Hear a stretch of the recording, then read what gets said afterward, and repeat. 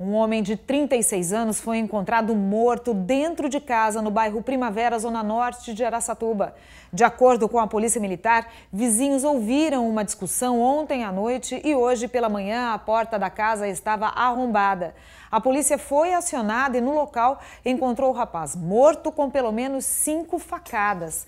O autor do crime não foi encontrado e as causas serão investigadas.